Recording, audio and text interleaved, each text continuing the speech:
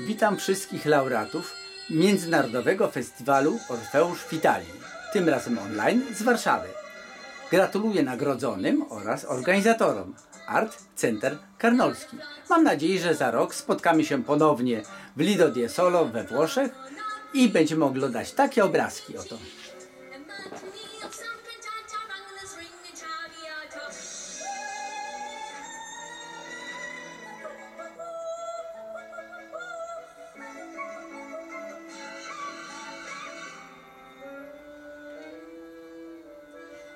First night in 14G, I put away the chili, brew myself the cup of tea, crochet until she's feeling half past eight, not a pin, except that tick tocking.